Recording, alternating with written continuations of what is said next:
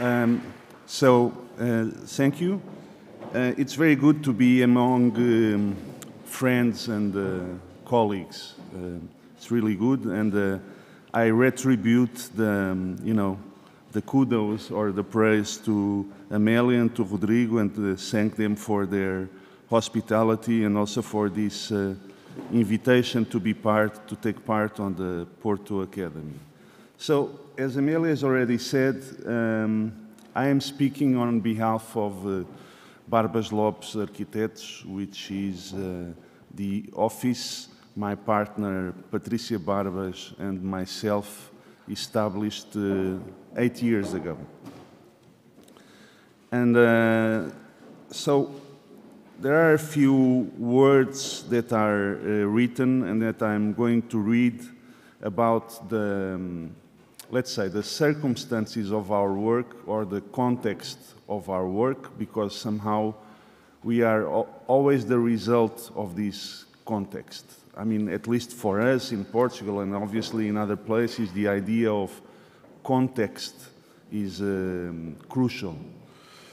And, um, and so our work is uh, firstly rooted in the, in the context of our country, small yet boundless. Facing the Atlantic Ocean, Portugal has an architectural tradition of uh, great richness. Over the last decades, its history has been uh, reinvented by names like uh, Eduardo Souto and uh, Álvaro Siza. To use an expression of the latter, uh, architecture remains for us a poetic profession. In order to make concrete this cultural commitment, ideas have to be pragmatic. Projects and buildings must express this need to improve reality. Their economy of means also relates to another local concept, which is plain architecture. The ability to do more with less is its greatest asset, especially uh, when resources are scarce. Since 2006, we have completed several projects under these guidelines. So, sc scarcity or scarceness um, is kind of um, a continuing undercurrent of uh, Portuguese uh, architecture and Portuguese cult culture in general. Uh, that is, uh, this country has been uh, chronically poor. And particularly in the last few years, it got poorer. And uh, so they were for the, for the class, for the colleagues, for the profession, uh, extremely complicated he, uh, years, but also, in a way, I have to say now, if I might dare to look at it retrospectively, um, also exhilarating years, because there was this kind of wave of destruction, of social destruction in this country that also uh, punched uh, holes in society that finally allowed for, uh, let's say, peripheral positions, younger agents to come to the surface, since Another thing that uh, somehow distinguishes Portuguese society's is uh, its archaic nature. So the second aspect of context and circumstances of our work um, has to do with the city where we work. So we are basically now uh, funneling, you know, we talked a little bit about Portugal. Let's talk a little bit about uh, Lisbon and how we think it affects our work, working in Lisbon. Um, Lisbon is a very different city from uh, Porto. So many of you have already, uh, in, these, uh, in these days, in these early days of the workshop, have already engaged in a kind of uh, repérage of this city, Porto. And uh, I think Porto a, is very cohesive in terms of urban fabric and uh, also in terms of uh, its tectonic values. Uh, there is a certain kind of cohesion, unity that uh, Lisbon doesn't have. uh, even though it's the capital city, or because of that, somehow it always traced different periods that sort of uh, concatenated one against each other in a kind of patchwork or collage. Uh, so there's this kind of juxtaposition of different styles. None of them dominated. It's not like, uh, let's say, it's not like Berlin or Paris where you reach a huge part of the city and you have uh, the dominance of 19th century fabric. And this does not happen in, in, in, Lisbon. You know, there are, there are samples of all these styles, of all these epochs, but uh, they are small in size and they are, in a way, uh, neighbors to each other, and this altogether creates this kind of uh, uh, patchwork. And um, I think this idea of the patchwork is important for us. I mean, not that we have written a, a treatise about this or a big text about this, but uh, it's something natural to us that uh, in our architecture somehow uh, things that are quite different from each other can uh, be next to each other with uh, not a lot of problems, uh, especially in terms also of uh, materials, a certain kind of uh, alchemy between different materials and different moods. So, um, I'm going to show you three projects that somehow trace a little bit the, um, the path of uh, our practice. And um, not, by not by coincidence, the three of this, these three projects are uh, within, let's say, the metropolitan area of uh, Lisbon. This is the first one is very much on the border of it, um, it's like 45 minutes uh, away from Lisbon to the south. Uh, two days ago, we heard uh, Valerio Olgiati uh, talk about this uh, kind of weekend house or this house that, that is this kind of retreat, uh, which is in a similar position further to, to the south. But it's always this idea that, you know, these people or these clients, they want to have the the best of both worlds. You know, they want to have a certain kind of intimacy and a, a certain kind of uh, relation with the, um, let's say, kind of a picturesque uh, envir environment of the countryside, but at the same time they want to be close enough to the city and they want to be close enough to a, a big shopping mall and, uh, and everything else. So it's kind of this uh, for them, they, they fashion these commissions a little bit like a, a win-win uh, situation. Um, and I think, uh, so the program is, was a family house, single family house. And uh, as you see from the image, you know, the plot was this kind of uh, trapeze. Um, with the high density of trees, uh, eucalyptus and uh, pine trees. And, uh, you know, the first, um, the first action of the project was to make a clearing in this site, to raise away a lot of uh, trees and to make room for, uh, for the house. So this also, in my opinion, and to draw some, some, sort of more general conclusion about architecture, this uh, tells us that uh, I think that intrinsically architecture is something against nature, contra natura. Um, and uh, it's contra natura to such a point that uh, it can be, uh, in a way, heroic in the way it's contra natura, but sometimes it can also be pathetic and uh, I, I, make this self-criticism about this house in the sense that, you know, all the other houses that are around are these kinds of uh, replicas of traditional houses, uh, one after the other, and uh, there is always this, uh, this urge that we cannot escape as uh, architects or a certain type of architects to um, you know, to stand as the exception. You know, we have to be the exception somehow, but most of the people don't realize or don't get the logic of, of, of that uh, uh, exception. So that, that's why so many times uh, uh we have so many, you know, problems with the clients.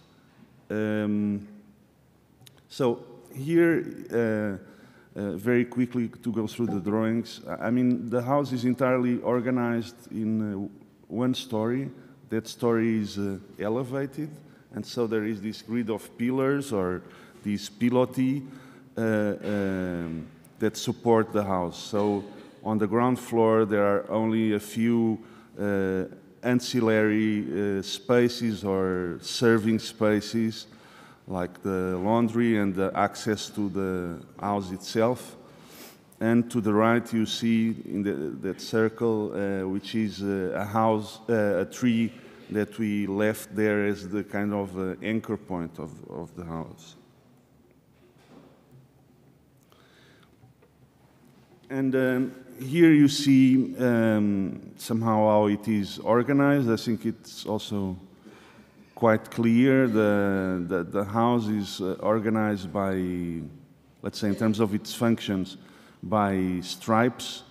Uh, so the top one, uh, you have the rooms, uh, the middle one, you have uh, services, offices, terraces, and courtyards. And the lower one, you have the social areas of the kitchen and of the dining room, and also the, um, the ver vertical communications. So in a way, since this was um, kind of uh, early work, I think there is this uh, uh, tendency, uh, natural tendency in an early work to either to explore uh, whatever kind of technique or material, but uh, in fact we didn't go that way in the sense that uh, the house in a way is uh, very Spartan in its repertoire of materials but uh, somehow what we perhaps got out of the system with this house, but we had to go through it, was uh, a certain kind of uh, heroic memory of modernism. All these uh, references uh, uh, that somehow were important to us, especially in terms of domestic architecture and most specifically Brazilian domestic architecture like Lina Bo Bardi and uh, Paulo Mendes da Rocha. Uh, somehow we try to, to settle that kind of uh, issue in, that, in the house. I mean, we probably made this a little bit unconsciously. This was not discussed, but it was something that uh, uh, took place because on the tectonic level, uh, the house is very much kind of an essay about uh, concrete. So how to use concrete as, uh, as the prime material for making the shell of this construction, but also as the prime finishing. Uh, in terms of uh, walls and so on. And so, and if we go back a little bit, so you have basically these two systems, an envelope of uh, concrete, and then for the most of the partitions and so on, there's this kind of clear separation, which is uh, very lightweight uh, partitions in uh, wood panels and, uh, of course, the glazing and uh, all, or, uh, all or as much as possible responding to the principle of dry joints, which you also see here. So very quickly to go through the, some of the images.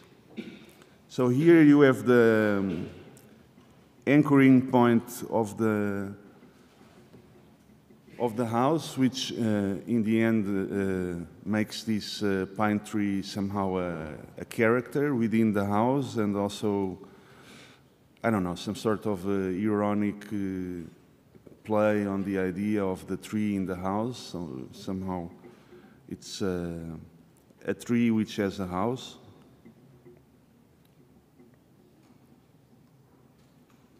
And uh, uh, since we raised the, the, house to this uh, height of the of a first uh, story, I mean we were level with the, the foliage of the trees around, and uh, again kind of uh, making it making a kind of an interpretation or or toying a little bit with modernist uh, tropes. Uh, all the all these experiments that can be made with the, the transparency of, of the glass and the, the reflections it produces and so on.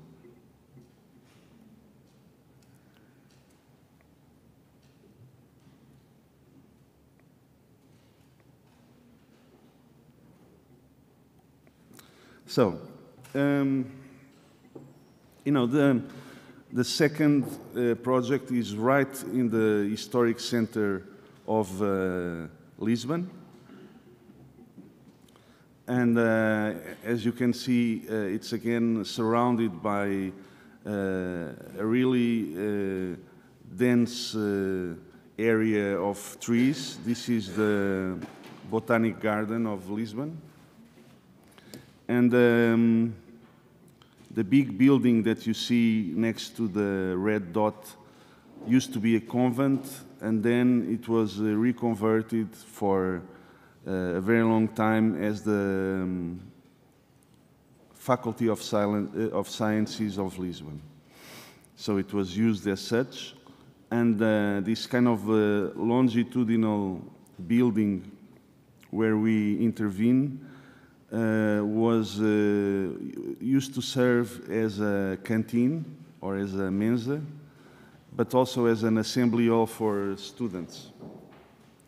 So regarding this um, project, perhaps uh, it, it, has to do with what I told her earlier about, uh, you know, this sort of uh, situation or circumstances of crisis in the last few years where the nature of commissions changed uh, uh, very much.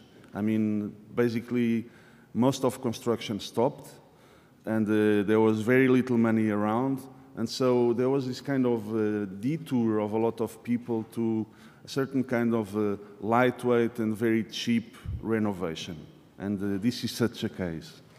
Um, okay, for us it was an interesting uh, work to do, but uh, for me, at least these days, it is clear that um, it is a bit of a mistake to uh, believe that somehow the architectural uh, labor and task and the ultimate mission can be accomplished only by these kinds of um, makeovers, you know, because now there is a kind of a craze about these things with all due respect to them, to all these renovations of uh, old uh, construction and urban fabric, but uh, I still think it's absolutely necessary for architecture to gain its sense uh, with more urban and aff affirmative uh, positions, you know. And uh, so but this is in, in fact a case where we're not building, we, we were not building anything. Uh, in fact, it was a kind of a, a, paint job.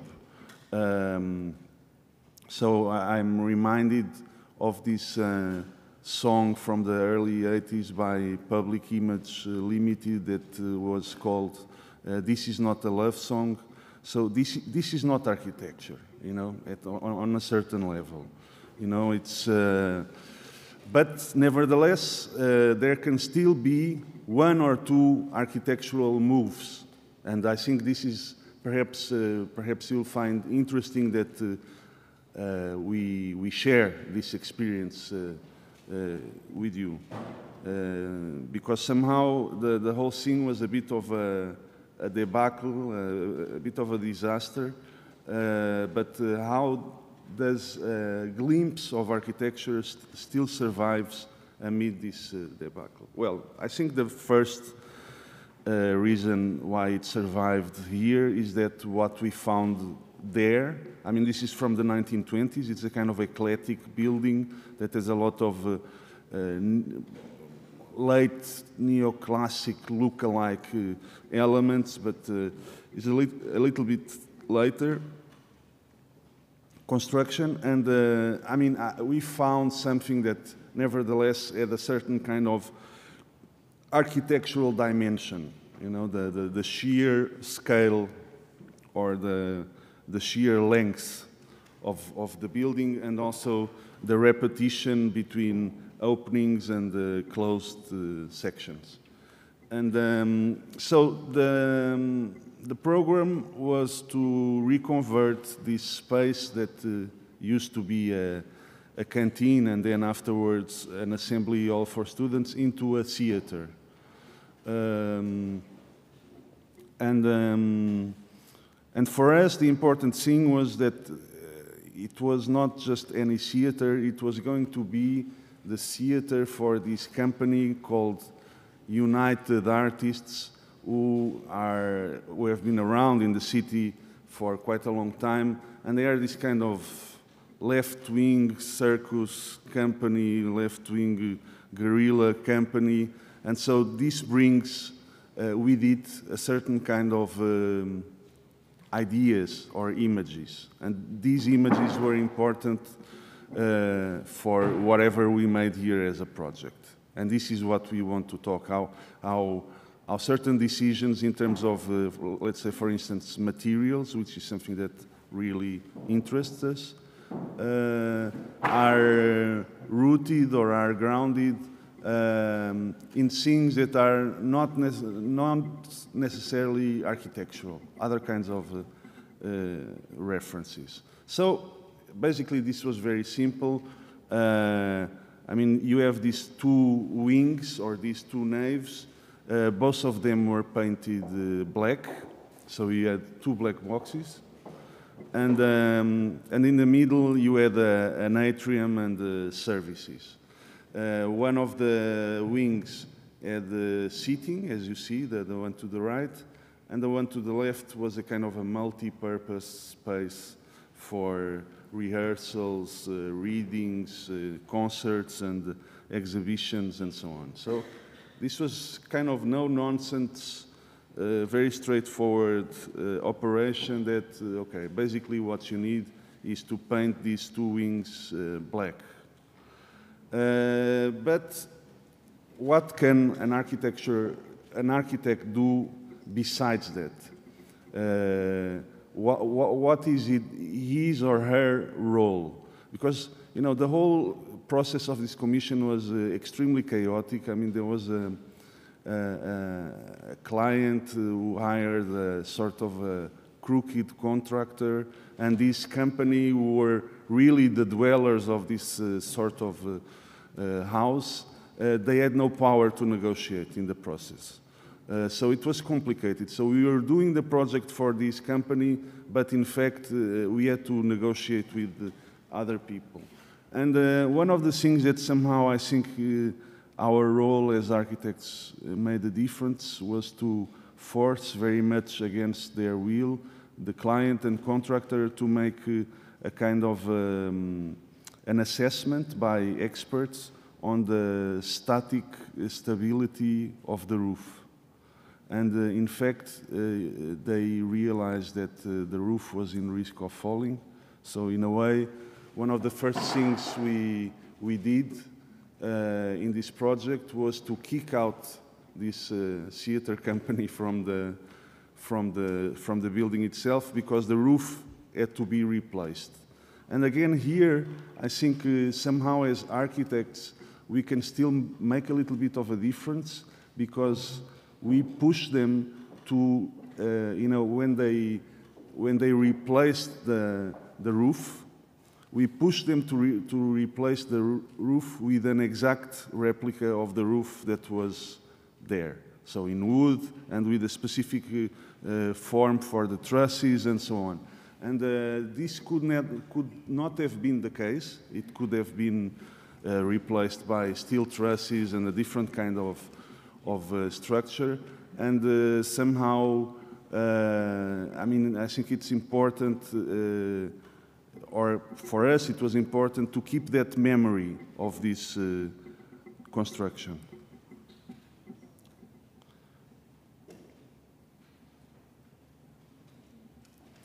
So, and for the rest, uh, it's very simple props or elements that nevertheless allude a little bit to the universe of theater, like these staircases that uh, are fashioned a little bit like uh, scaffoldings, much as you have in the, in the stage of a theater.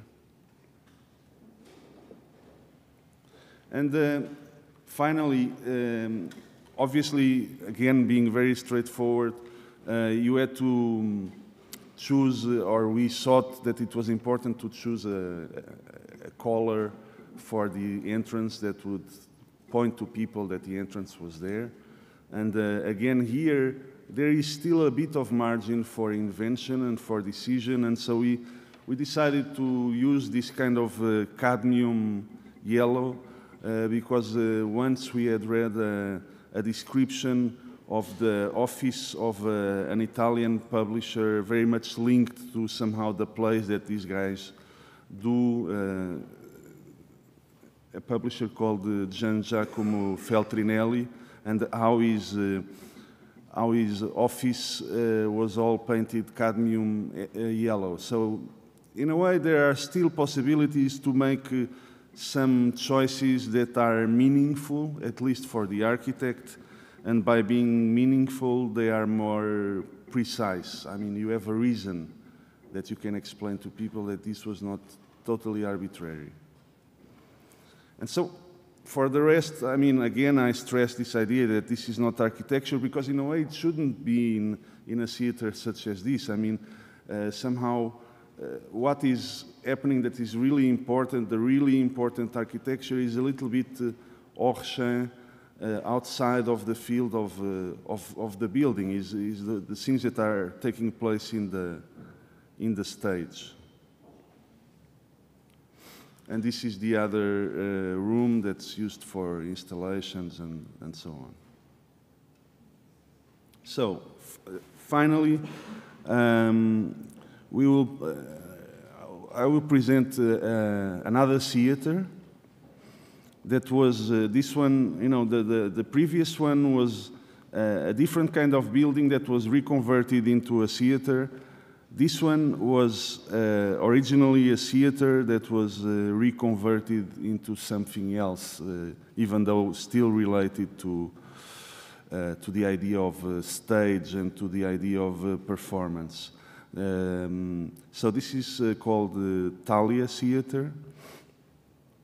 Um, it's in another part of, of the city, as you can see by this aerial photograph it's already in an area more modern, uh, full of uh, freeways and, um, and turnpikes and so on. Um, and this structure um, dates back from the 19th century. And uh, we had the commission to, in a way, uh, reconstruct or recreate what was left of this theater, which was a ruin, um, and which you can see here. This is what was there. You know, this was uh, this uh, theater, which is uh, a, an Italian theater in the sense that it has a, an, an horseshoe uh, shaping the uh, audience part, and then the stage to the right. Um, was uh, built in 1843, or it opened in 1843, and um, ran until 1862. Uh, and at the time, at that time, there was a big fire that consumed most of the theater, especially the roofs and so on. And this was a, a private theater, so it's a small theater, uh, what one would call a teatrino, um, owned and uh, made built by a count, a very kind of uh, eccentric count that was a kind of a lover and a patron of the arts. And uh, this was part of an estate he had at the time of something that, that was outside of the city. Uh, it was outside of Lisbon, outside of the gates of Lisbon. It was a kind of a, he had a weekend palace, and then he had this theater, which would be working a little bit like a kind of, uh, you know, like his own cinema. So you'd invite his friends uh, to go to this place to, um, to watch performances there, but also youth stage parties there. So it, it's kind of an archaeology of a discotheque. And uh, this is uh, uh, currently uh, this is owned by the state of Portugal, by the Ministry of Education and Science, and so they were our clients, and we, we did this uh, work along a much older uh, architect, uh, kind of a doyen of uh, architect in Lisbon, Gonçalo Byrne. And so we did it together in, a, in co-authorship.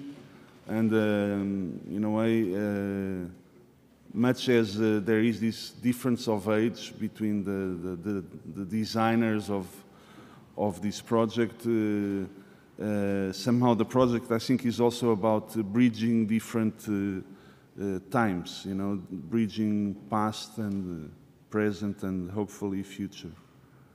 So here you see uh, the intervention, um, which includes a kind of an extension that you see to the right, these sort of pavilion structures that have uh, serving spaces that uh, uh, provide support to the new program of the, of the theater, which is being a multi-purpose space.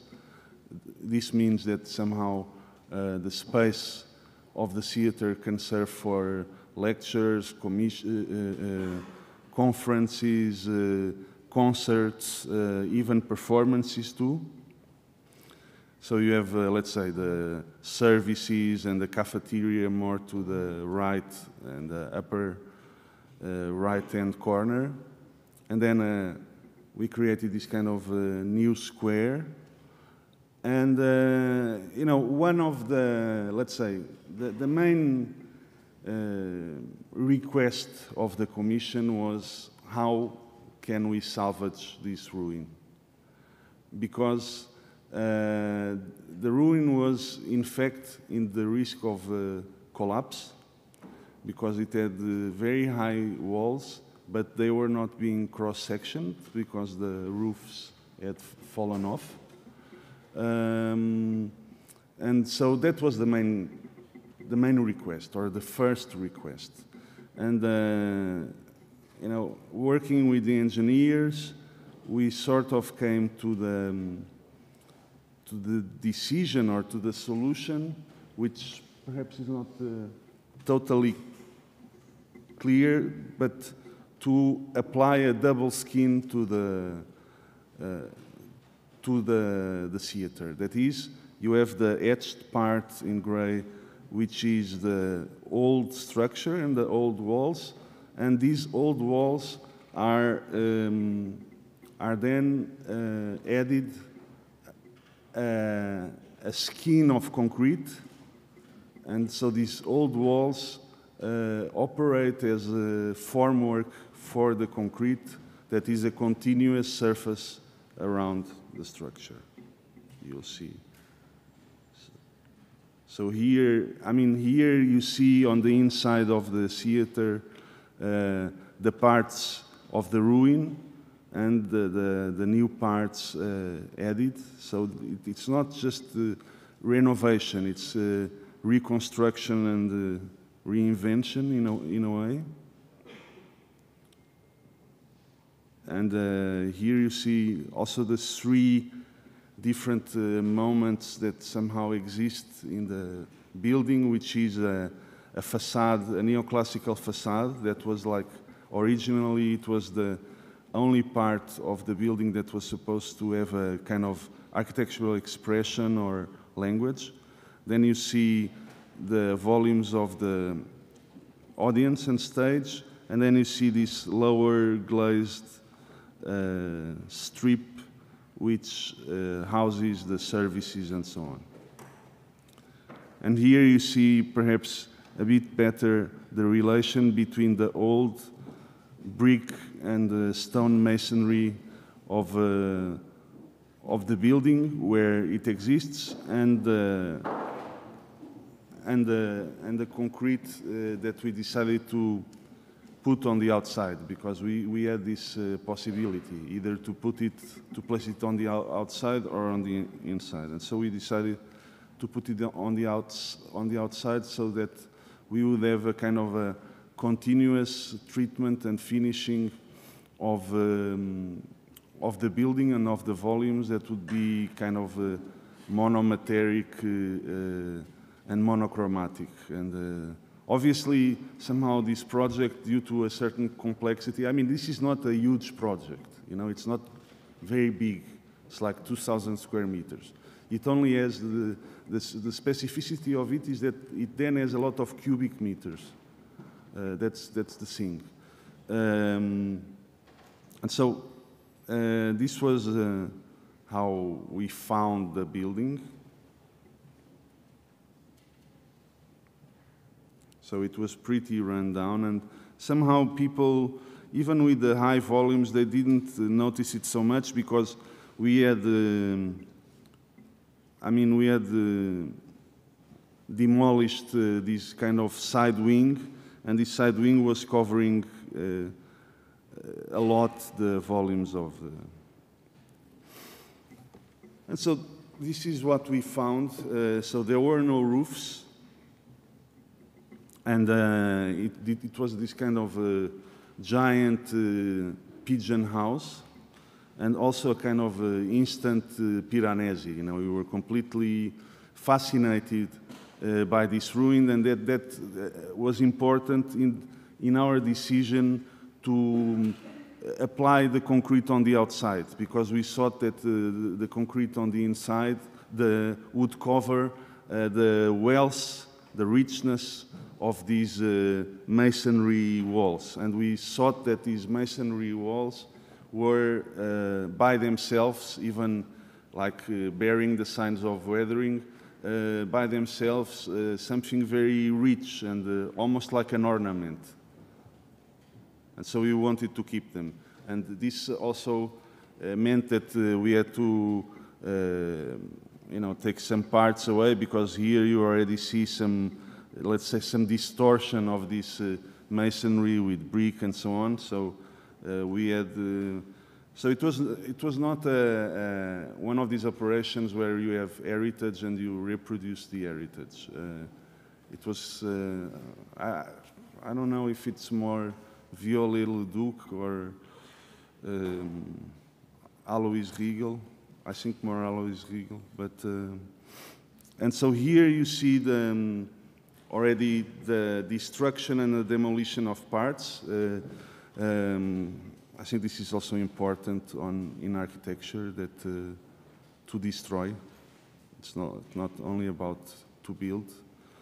Um, and so we, we destroyed these uh, side constructions that was here, that were here to make the, the whole composition of the volumes much more clear and in a way much more modern here are some images of the process of the construction because the interior of the theater had to add this uh, kind of meshwork of uh, scaffoldings uh, to keep it stable or, el or else it would collapse the, the walls. And so again, uh, I mean, we all know this as uh, colleagues, but I think this is the fine thing about construction and being on the construction because you have these moments, you know, this was an incredible spatial field, you know, and, but it only lasted for a while, but it was nice to see it and to experience it. And here you have a, a prototype of the, of the concrete that we used. Uh, it's a kind of a terracotta colored concrete, so uh, it was, uh, the concrete was added pigment. And, uh, and moreover, uh, it's also got a specific finishing called, uh, so it's called deactivated concrete. Deactivated concrete is a concrete that suffered the kind of uh, erosion or abrasion. It's like an exfoliation to the finer skin of the concrete. Uh, and uh, that exfoliation is produced by applying an acid, a chemical, to the formwork. And so the formwork with that acid then eats away a little bit the, the, the fine surface of the, of, the concrete and you can, uh, you can control that. And we wanted this kind of uh, deactivation of, uh, of the building because we wanted to make a kind of a, a crossfade between what the building, what the remains of the building were and uh, what it was going to be. That is, we, don't, we didn't want to have a building that looked brand new. We wanted a building that immediately looked old and in a way immediately anticipated, anticipated its future ruin. Um, so this is very rugged, you know, the, the surface. And so here you see the two moments in a way already. The, the concrete had to be poured in uh, horizontal stripes uh, incrementally, um, because if not, uh, um, uh, it would uh, put too much pressure to the, to the walls. And so it was a little bit like a cake. Again, this was a certain idea of cross-fading from the old condition to the new condition and even with the people around and so on, this uh, made it more uh, peaceful, the, the intervention, because it's a very physical intervention and uh, in a way it was uh, necessary a certain kind of uh, political uh, moves for the people from the heritage to approve it because we immediately break one of the rules of heritage, which is to, uh, we are making something which is non-reversible. Uh, I mean, you can, now you cannot take away the concrete from the ruin. And this usually doesn't sit well with the heritage people. And so, very quickly, and, and, and to finish, a sequence of uh, images of the complete building. So somehow, uh, I mean, in terms of urban context, uh, the, the building is in between a suburban area, which has already a few decades, and the zoo, which was formerly the estate from this uh, count who owned the theater. So there's this sort of uh, surrealist uh, aspect to the uh, to this uh, uh, shell of concrete being landing in the middle of a, of a garden, which is almost looks like a kind of a jungle.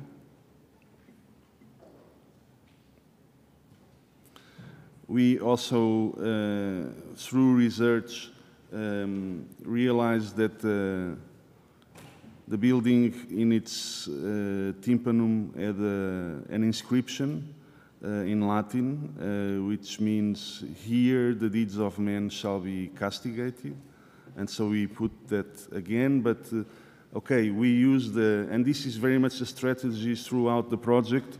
We use, we use the uh, serif uh, typeface, but then the detailing of these uh, letters was very much the detailing of a, I don't know, the detailing of letters or a neon sign in a shopping mall. So we are, we were always playing with, uh, you know, rich details, poor materials, or poor details, rich materials, also to balance out the budget. Uh, because, I mean, it was a fairly, I mean, it was an okay budget, but it had to be complied uh, very tightly because it was a work for the state.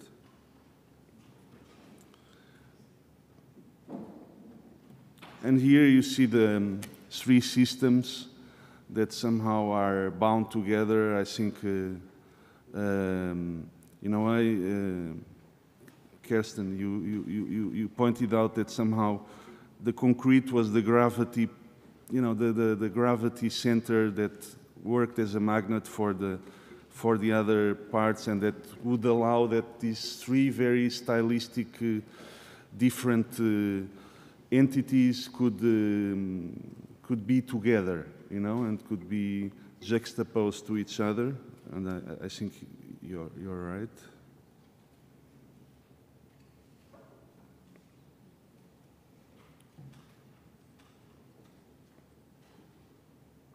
So, in fact, these three stylistic uh, entities is very much something, uh, this kind of archaic, uh, almost Egyptian, um, you know, these volumes of, uh, of, uh, of concrete that embalm uh, or petrify the, the ruin, and then the, the, this pavilion that somehow it's still uh, indebted to a kind of modernist uh, vocabulary. we were clearly thinking of Mies while doing this. And then this kind of neoclassic front, which we try to convert into a kind of a neo-neoclassic thing, you know, again playing a little bit uh, with time and not being totally sure what is the time of things here what, what comes before and what comes after. I mean, here you also feel this because somehow when you see the soffit of the ceiling, um, this, with this, I mean, you see the ruins, of course, and you, it's very clear, but we try to find a finishing for the, for the remaining surfaces, uh, such as in the soffit of the ceiling. Uh, which was done with painted papier-mâché to make acoustic control of things. Uh, you have this doubt what came, what came first?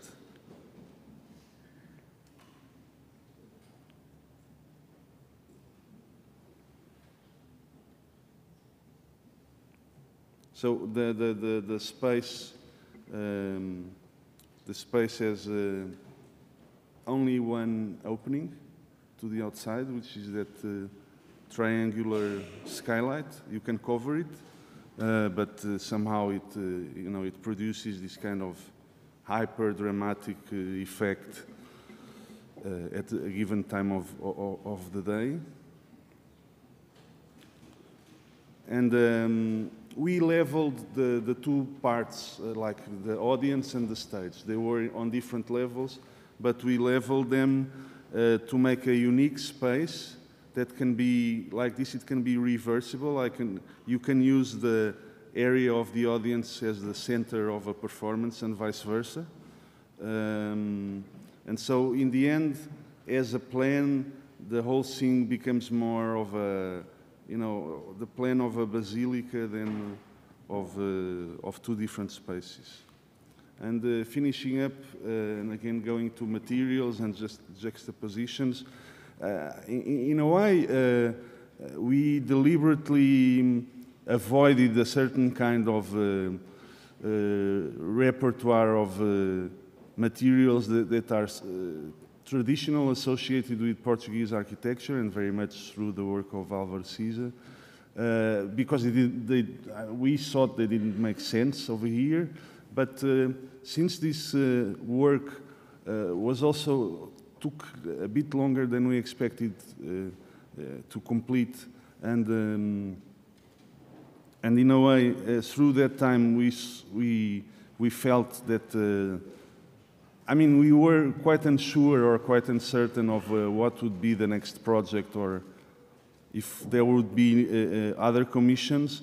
Somehow, at a given point, we were privileged enough to have enough time to make, to hear, think about this project in a kind of a conscious way as a kind of a manifesto. And uh, so the use of materials, uh, the use of different materials here, like this cheap, poor thing, uh, was a kind of a manifesto also in pledge of a certain kind of uh, freedom, you know, freedom to, to decide on unexpected uh, solutions and, and so on.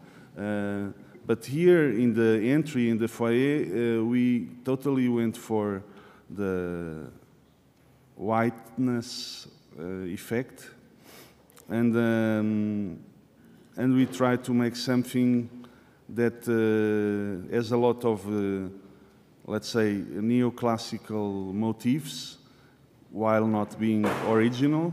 So one could say that uh, there is a kind of a postmodern uh, hint at this space, uh, like for instance the frieze that you see um, on the upper part of the image that was made to correct proportions. I mean, it's a kind of a gigantic fluted frieze in styrofoam and then stu stuccoed. And so again, we are mixing things here, or um, uh, but then we have uh, things that are very rich, such as uh, limestone. But um, I think that this gives you an idea, perhaps, of uh, certain trends that are common in our generation and different parts, which is, okay, you also work with different uh, references. Uh, I mean, in this case, we were also always thinking about uh, Asplund, but uh, of course also about uh, uh, Venturi. And so this freedom to juggle in a kind of more gracious way with different references, I think it's a discovery we were finally and fully able to make with this project, and I think it's uh, something that we hope to develop uh, in the future. Thank you.